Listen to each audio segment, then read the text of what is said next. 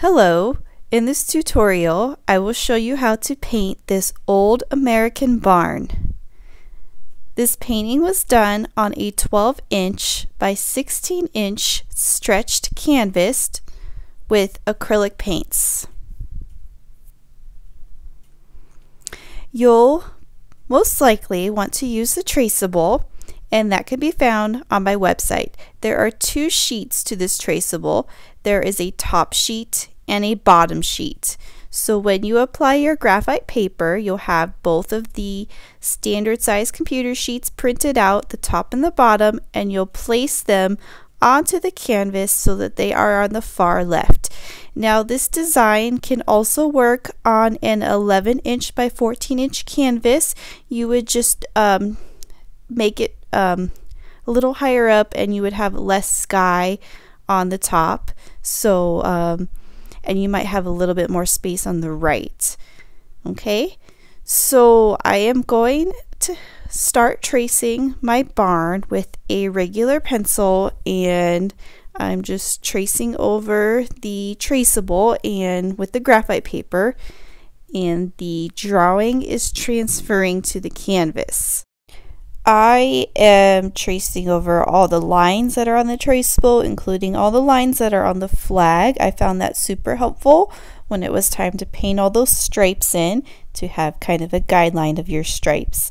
Okay, so as far as the colors go, we're going to start with primary blue and titanium white. So those are loaded on my paper plate palette.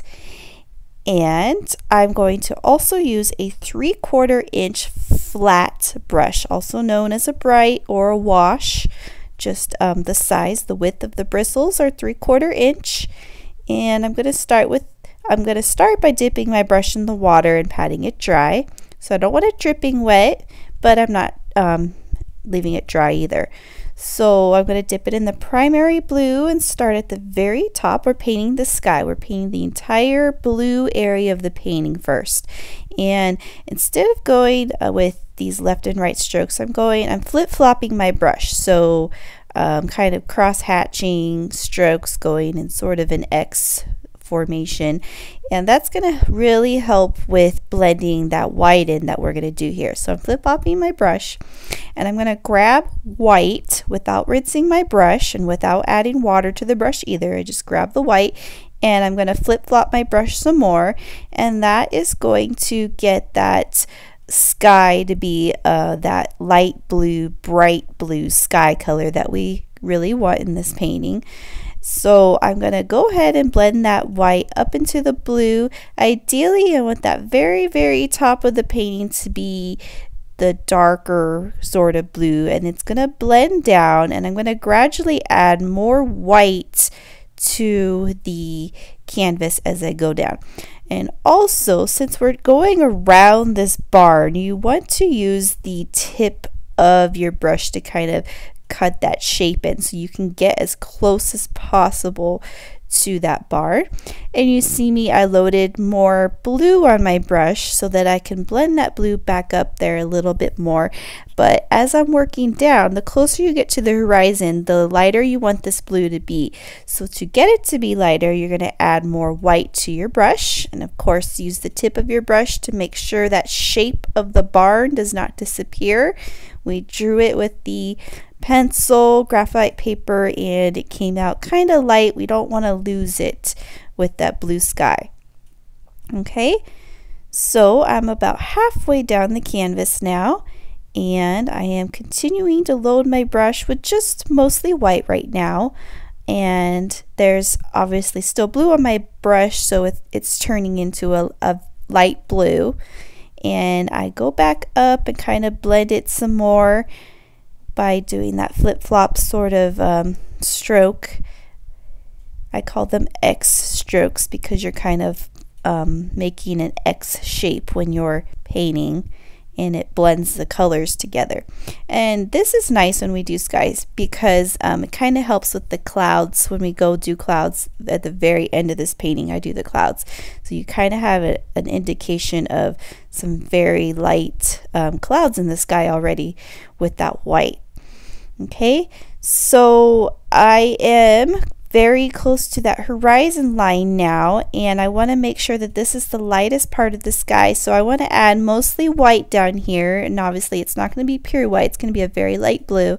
And then I'm going back up to kind of blend it in and then you have um, an opportunity to paint the sides here. So if you're using a stretched canvas that has the sides, you can use up the paint that's on your palette and mine kind of fast forwarded there. So you can press pause right now as you paint your sides. But I am going to move ahead and do the barn colors. So the barn is next and I used burnt sienna, titanium white, and Mars black and I also used the three quarter inch flat brush. And you see me grabbing a chunk of that titanium white. So instead of reloading it I just grabbed the chunk that was left over from the sky obviously not the one with the blue in it. And I'm going to triple load my brush. So I dipped it in the white first and I dipped the corners in um, burnt sienna and Mars black. And actually I didn't really dip the corner in burnt sienna. I just grabbed kind of a glob of it and um, the corner was dipped in Mars black. So my brush is triple loaded with about mostly white um, a medium amount of burnt sienna and just a little bit of black. And so I'm going to paint up and down. And um, this if you have followed some of my other stuff I do this when I do any kind of wood background, but the barn is uh, the wood, so this is kind of the same sort of thing. Um, the colors are going to blend together and uh, form this wooden color, and you see me outlining the roof there, so you kind of want to do that too. We did that with the sky, but you want to do that with the brown too, using the tip of your brush, okay?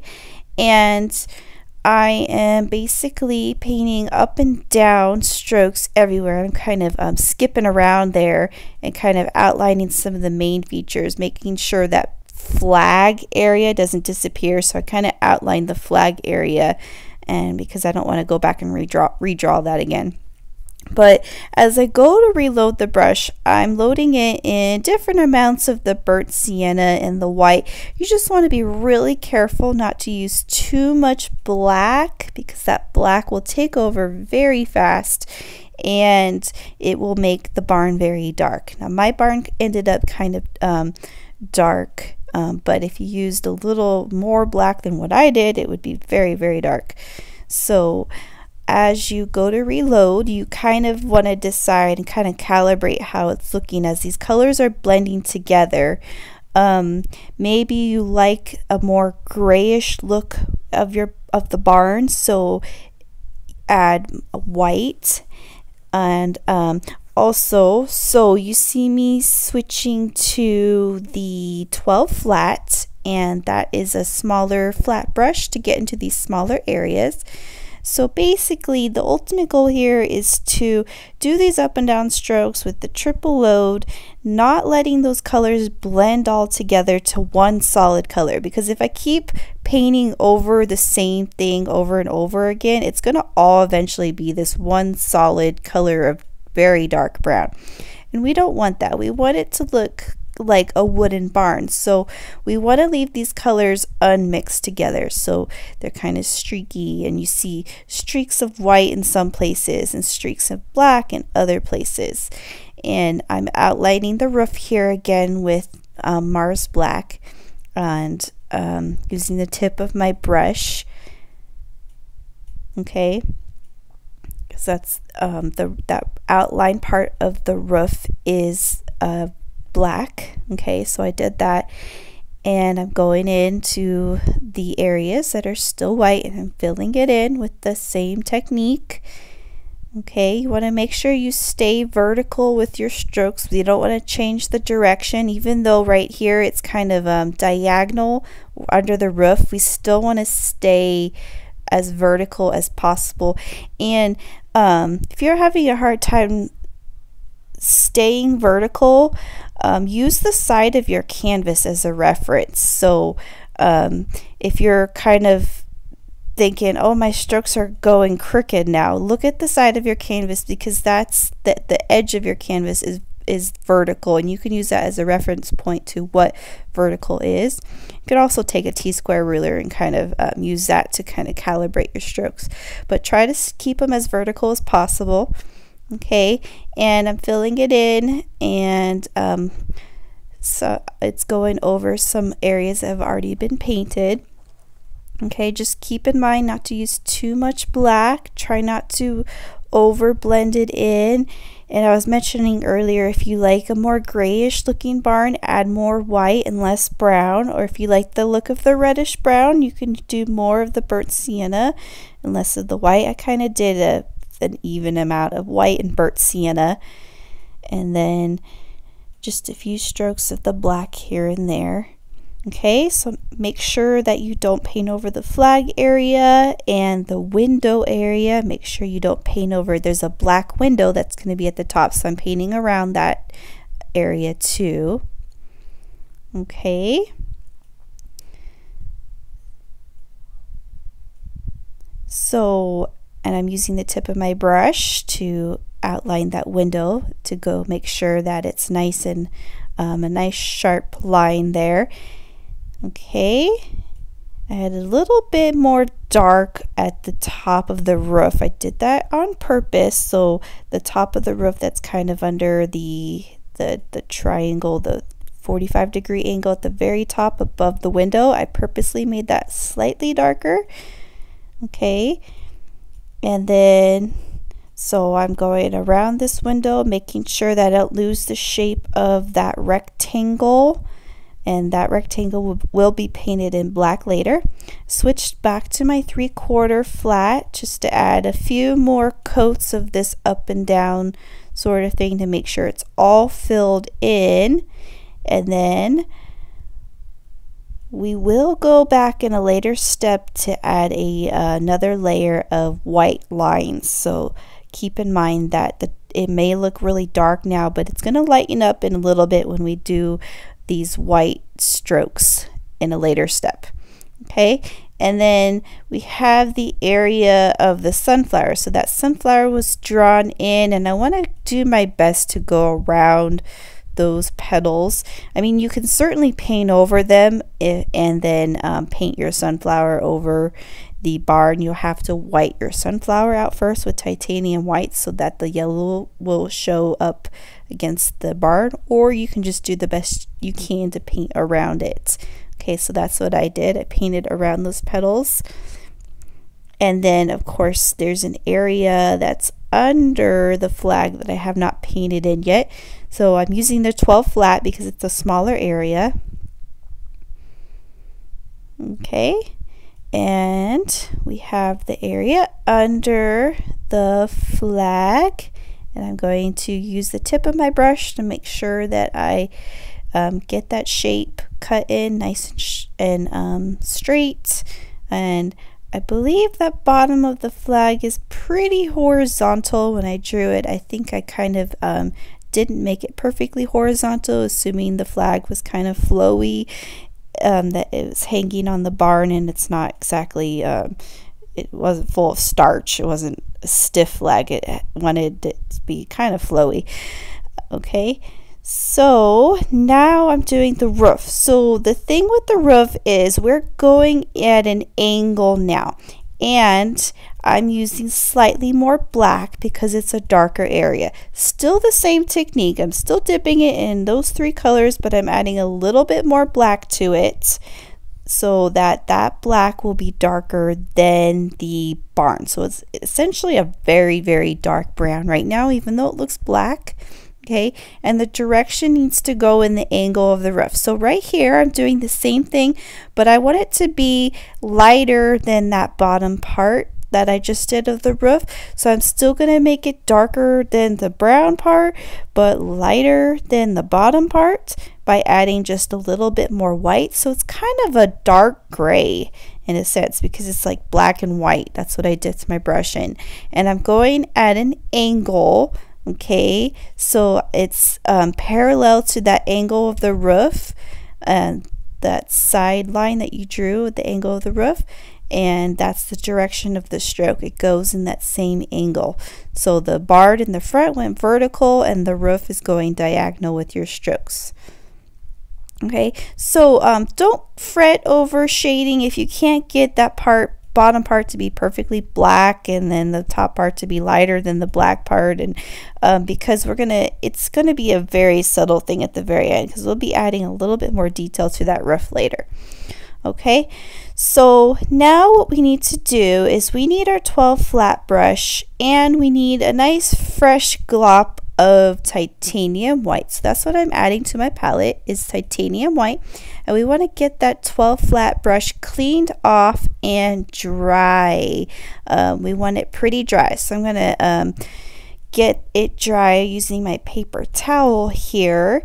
And I'm going to form the kind of a point with my finger to get it nice and um, straight and pointy. So I'm going to dip that very tip of the brush okay in the titanium white and I'm going to use the brush um, just the tip of the brush to form a thin line. So what I'm doing is I'm painting these thin dry lines and they're not really going all the way from the bottom to the top. They're kind of um, well the, the paint is running dry as I'm painting the stroke.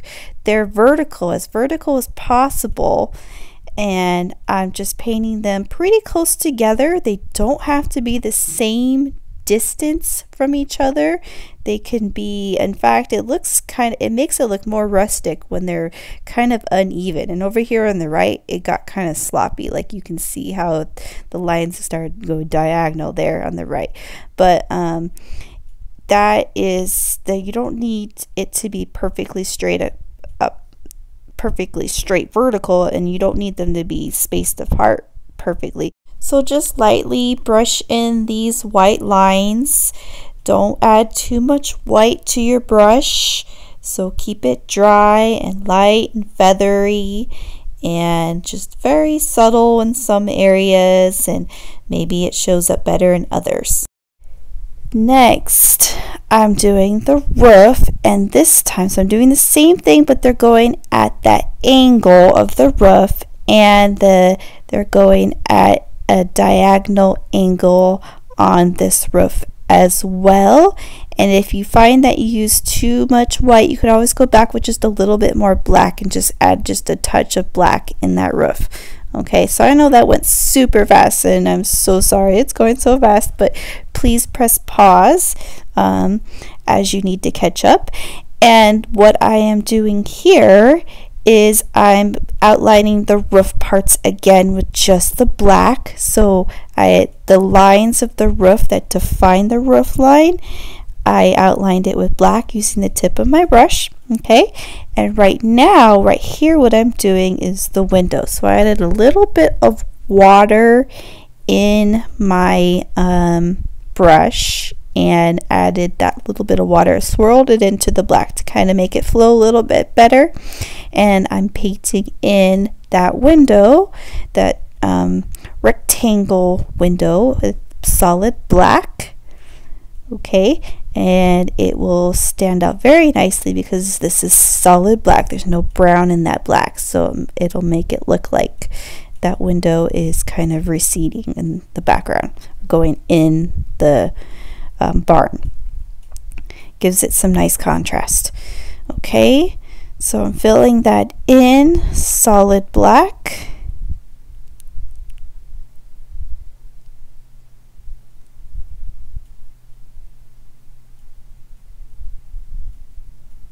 want to get a good coat or two on there to make sure it's nice and solid and dark. Okay, so next we're going to do the flag and we need to rinse our water out because we do not want muddy water for this flag. We want these colors to be nice and bright and um, pure colors. So we need the color primary blue and um, we're going to start with just the primary blue right now. So with the 12 flat, I'm going to do the, um, the blue part of the flag. So I'm painting that in and you should see the area that was drawn with your traceable. So that triang triangle rectangle area is solid blue and you're filling that in a good solid two coats of that um, blue and I'm doing horizontal strokes and the very end or after I'm done doing this I'm ended up making them go vertical. So it doesn't really matter if they're going horizontal or vertical. I think it maybe slightly looks better if the strokes are going vertical just to kind of keep it in union with the other strokes that are all going vertical everywhere else on the barn. So that's kind of the thing here. So I'm filling that in with the primary blue and the um, this blue's a tad bit translucent so it needs a couple coats to make it nice and solid and opaque. Okay so I'm getting my strokes to go vertical now. And then we're going to do alizarin crimson on the palette but we're going to start with titanium white actually. I'm going to use a number 4 round brush to paint the stripes first and I'm going to paint the white stripes first. Um, I always find it easy when doing the American flag painting to do the white stripes first because um, you'll, you'll kind of see why. So the second stripe is white so I started on the second stripe and I did that white. So um, every other stripe is painted white. And this gives you kind of a little bit of a flexibility here because you can you're using the round brush and you can you can kind of go outside the lines here. You don't have to be um, very rigid and precise here. And you can go outside the lines. And this is okay because then when we do the right red stripes it'll kind of um, make up for the fact that you went outside the lines. That's why I did the white first instead of the red. Okay so the um, the second to last stripe is white. Okay so we started on the second stripe and we ended to at the second to the last stripe and then so this is just the round brush adding a good um, two coats to these stripes. And um, then it's hard to see because it's white on white but it's still necessary to paint it white. Okay so I'm going to rinse my brush off all the way and I'm actually going to do this black line here next. So I'm going to paint this in. So that's the uh, what the flag is hanging on so I'm painting that. It's a, a curved line.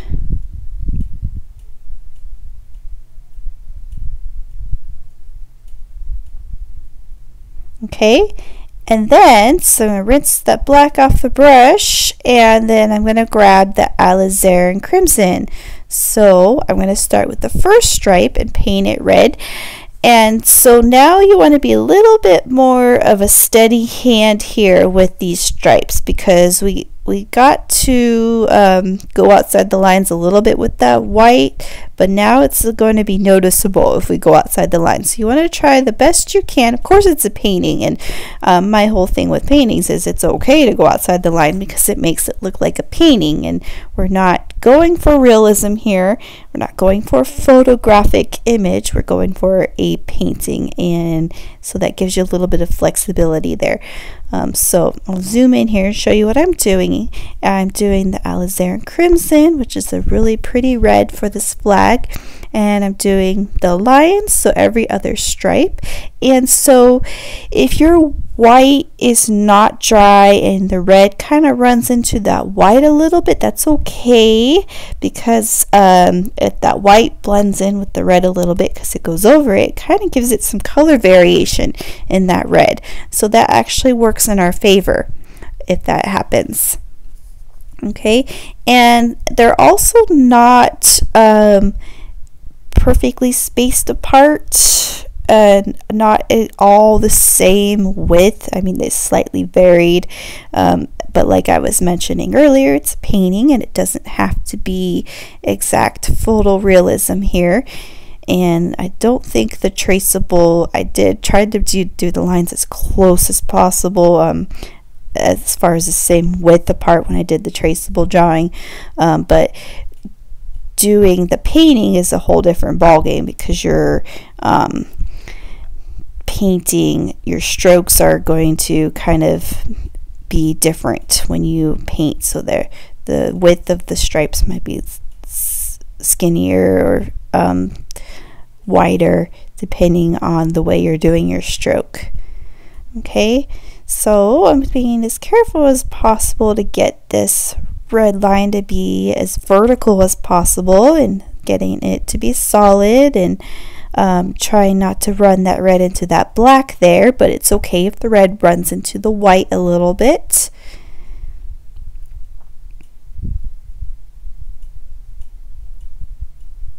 And then the last stripe is red. So if you did this right, you should end up with the last stripe red. So seven red stripes and six white stripes.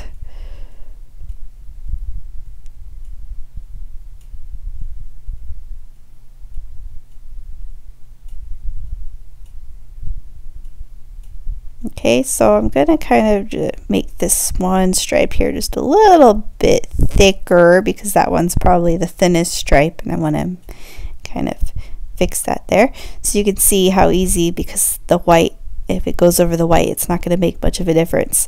Okay, so we have our flag and for um, the bottom part right here, I'm got my 12 flat back and I'm going to make this area just a tad darker and um, gives it a little bit of a shadow underneath that flag right there. So just a tad bit darker. I triple loaded in the brown, the white, and the black, but just a little bit more black. And it also kind of um, fixes if you went outside the lines on the bottom part kind of um, fixes that possibility too. Okay so for the stars I did titanium white and a number four round brush and I did not count 50 stars for this. If you want to count 50 stars you can most cer certainly do that. Um, but I didn't I don't I didn't even I don't even know. You can count how many stars I'm doing, but I did not count. So, but the stars are going in a sort of staggered um, formation where they're like the brickwork, they're staggered, they're kind of going crisscross formation. Um, but you don't have to do it that way. If you want to kind of make it um, just putting dots all over the area without making them geometrically spaced apart or anything like that, you can do that too. Um, if you want to splatter your stars, you can do that. And um,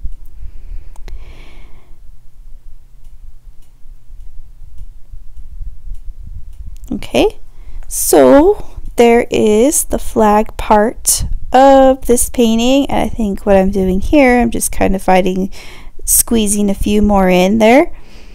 Okay. So squeezing a few more um, stars in there.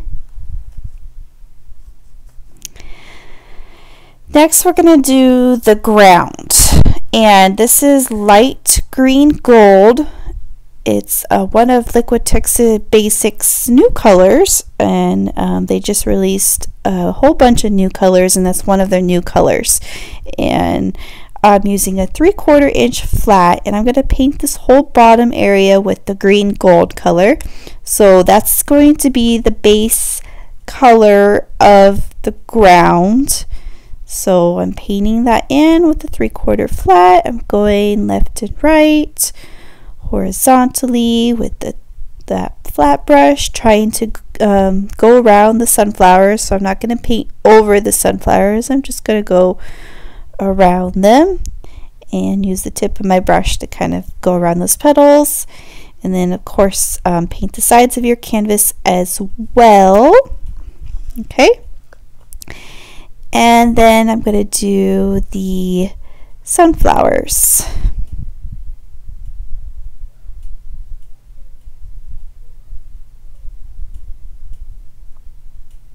Okay, so the colors you're going to need for the sunflowers are cadmium yellow deep hue and you're going to need burnt sienna. You'll also need primary yellow, but I did not load that on my palette yet. I'm going to start, I'm going to use a number four round for all of the sunflowers. So I'm taking all my brushes out of my water and setting them to the side. And I'm grabbing my number four round brush and I'm going to use, I'm going to dip it in both of those colors. So I basically essentially mix burnt sienna with cad yellow deep and it's going to make this kind of golden yellow color. And when I mix colors on my palette, I don't usually um, mix them all the way. So I like the color variation. You can see on my palette um, the in-between color is kind of a swirled version of those two colors. So I'm painting every other petal right now with the round brush and that's what I'm doing. So every other petal, so these are going to be the darker kind of behind petals. And I'm painting them in the direction of the petals. So my strokes are going curved. And then I'm going to do that with the other sunflower as well. And so when I load my brush back in, the you could see how the colors vary. It's not all the same color as I'm add, painting each of the petals. It's not um, because I, when I load my brush, reload my brush, I might be grabbing a different amount of burnt sienna or cad yellow deep. And that's what happens. Okay, so next I'm going to load my palette with primary yellow and I'm going to paint the other petals. And I'm not going to rinse my brush off.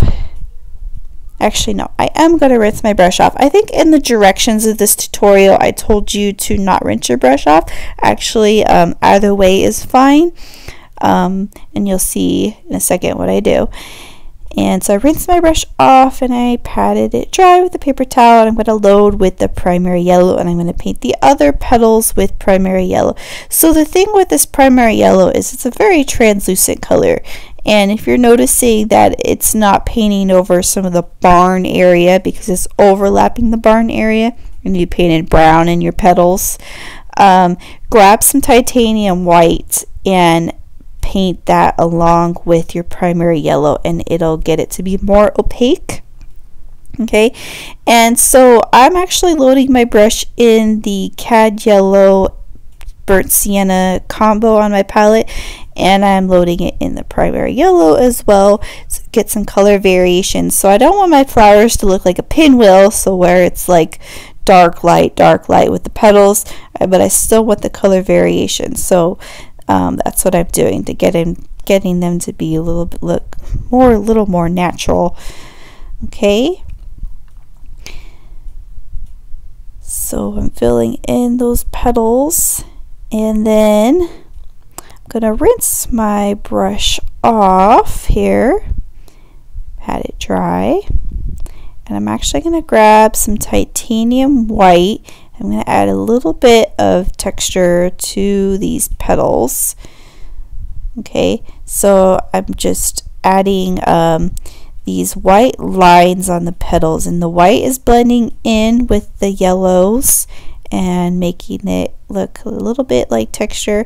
So this is not, um, not going for realistic sunflowers at all here um, just an impression of a sunflower because they're not the main focus of this painting. The barn and the flag are the main focus.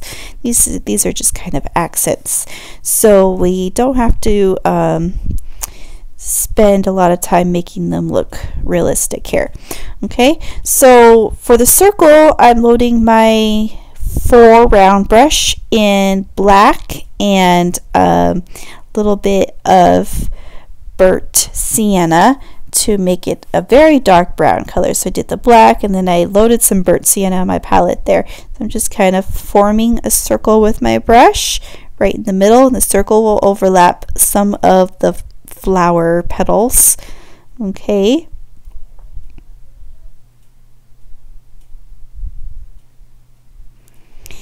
And then to add a little bit of texture to those circles.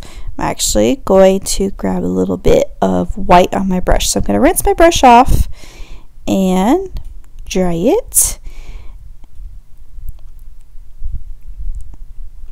Okay.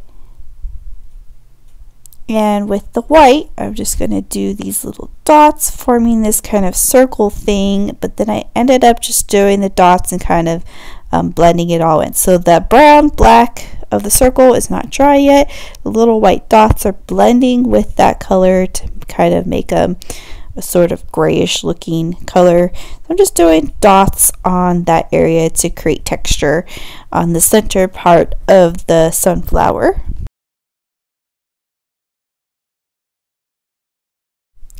And then there is a subtle stem under these two sunflowers and you'll see me do that here in just a second. I am going to load my palette. I'm doing that right now. I'm loading my palette with Hooker's Green.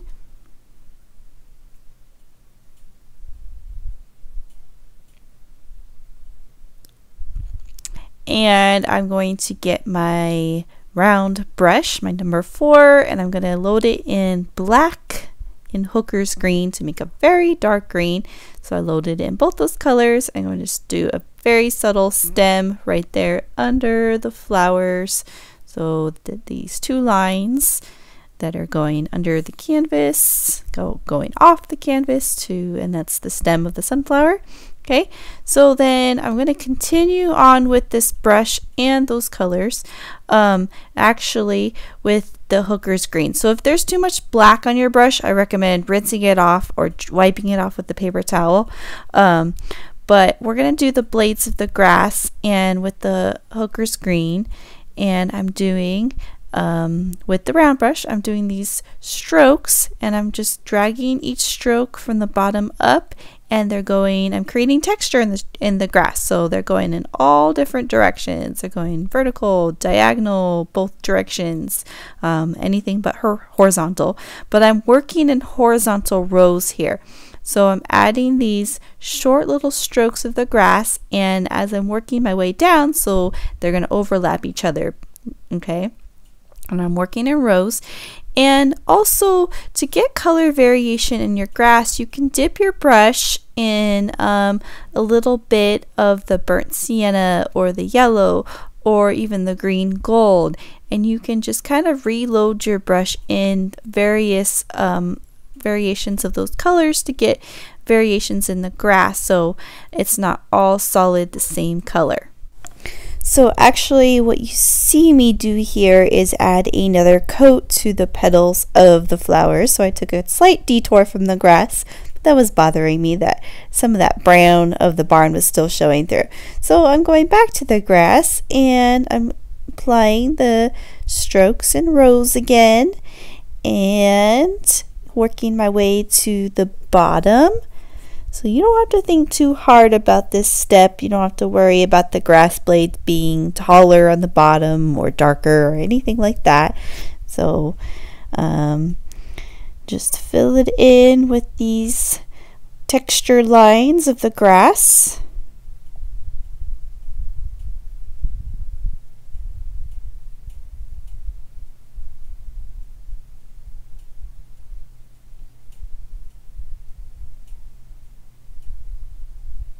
And then occasionally I go back up and add a few more colors in there in the middle area. And then I want the texture of the grass to kind of um, overlap the bottom part of the barn a little bit too.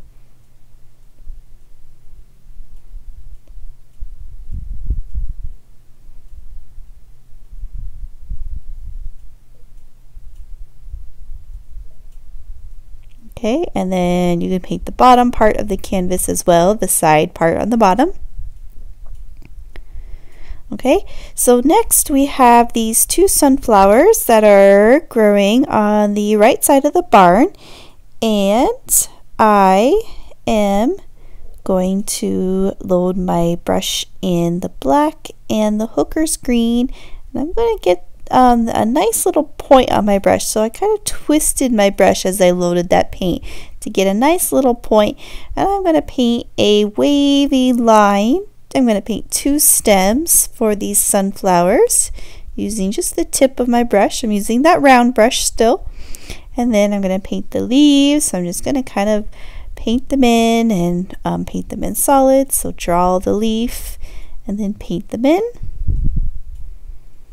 So this is Hooker's green and black so that it's a very dark green color. And let's see, we'll do another leaf on this side so it's not exactly um, the same amount of leaves on both of them. And then the little stem that attaches the leaf to the um, stalk of the sunflower. So I'm going to rinse my brush all the way, get all that green and black off of it, and I'm going to um, actually do the middle part first. So I'm using my finger for this step. Um, because it's kind of fun. So dip my finger in the black and the burnt sienna and I'm just dotting it down to create the center part of the sunflower. Just use my index finger for that. And then I'm going to go back to my four round brush and paint the petals. And so I'm going to use primary yellow for this and maybe grab a little bit of the Cad Deep. And of course, that Cad Deep has a little bit of that um, burnt sienna still in it and um, titanium white too. So uh, what is that quadruple load there? Uh, but the titanium white actually makes the petals look a little brighter here. So these petals are a little lighter than the ones in the foreground. Um, you can do the same or you can do it differently but the main point of the adding the white is to get that yellow to be more opaque because it's covering that blue. We don't want that blue to show through. And if we have a petal overlapping the brown it makes it opaque so it covers the brown. Okay? And so I'm just casually painting these petals and remember it's not the main focus of the painting so we don't really need them to be realistic or anything like that. Detailed.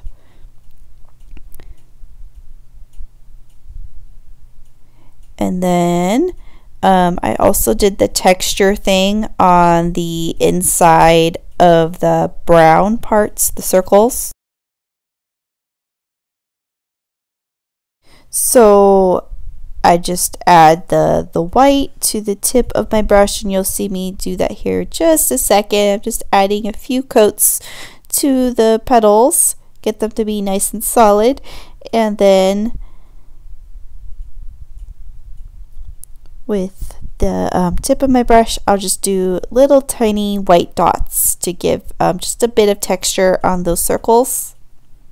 Okay, so we have the um, majority of the, pa the painting finished and um, I'm going to demonstrate how I did these clouds. I saved this step for the very last and they are optional because clouds are a, a bit of a trickery to do. So I'm going to show you how I do these dry brush clouds and um, been doing a lot of these dry brush clouds lately. So I'm using a number 8 round brush and I dipped it in white and you saw me wipe it off with a paper towel. And so when I make these marks on the canvas, the paint is not um, flowy, it's dry and I'm painting in a counterclockwise, little tiny counterclockwise circles. And this is a cumulus cloud, so it's fluffy at the top and sort of horizontal on the bottom. And I am doing painting um, in little circles to form that cloud.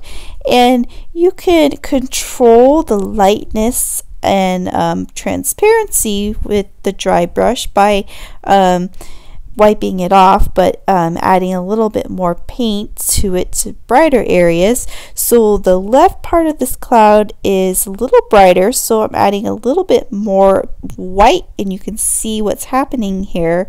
Um, the white is a little brighter on the left because I added just a tad bit more white and um, the rest of it is dry and feathery because um, I wiped off a lot of white off of my brush.